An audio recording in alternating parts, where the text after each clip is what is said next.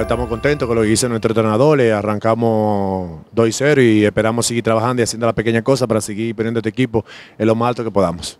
Ah, principalmente felicitaciones a San Carlos, no, tuve, no estaba aquí cuando presentaron a David, David y esa fue una de las principales razones por cuales estamos teniendo éxito hasta temprana comienzo del torneo.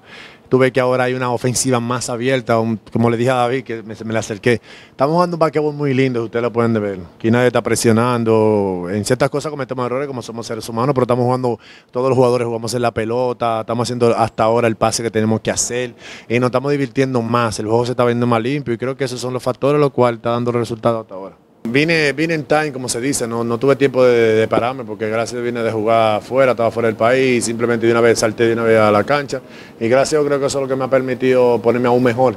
Y nada, como te dije, me siento bien cada año tratando de hacer pequeñas cosas para seguir sintiéndome bien, ya que quiero jugar este baloncesto hasta lo que mi cuerpo me permita y seguir lo más lejos que pueda llegar.